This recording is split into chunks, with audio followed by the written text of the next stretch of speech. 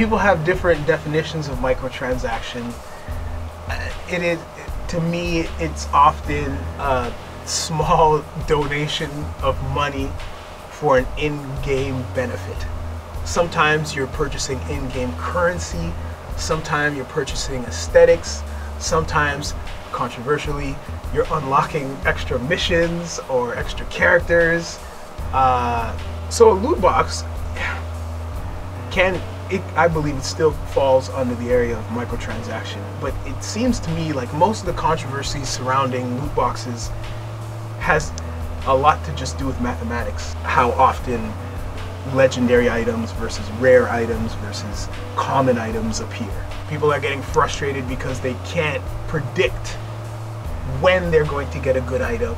Even though it's clearly posted mathematically in many of these games, the chance that it's going to happen, you're just unaware of which chance it is unless you do it the exact amount of times it would take for you to reproduce that small statistic.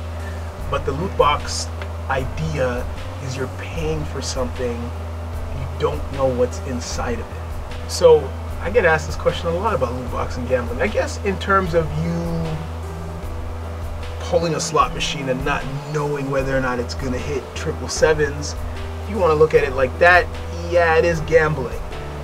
In a lot of games, the games that I play, for example, you don't have to put money in. Uh, one of the games I play a lot right now is a card game called Lightseekers. I haven't put in a single dollar into Lightseekers. I enjoy the chance mechanic. I'm not obsessed with it. I understand what the argument is about addiction and all of this, but my favorite question to ask when questions of addiction come up are simple. What about parenting? Next question.